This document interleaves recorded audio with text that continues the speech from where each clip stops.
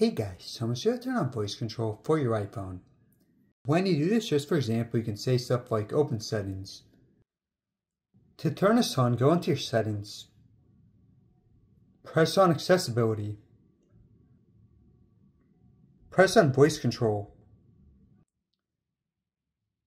Press on setup voice control. Press continue. Okay, so give you a list of things that you can tell it. To turn this on, you can say, Hey Siri, turn on voice control. Press on done. You see now it's turned on.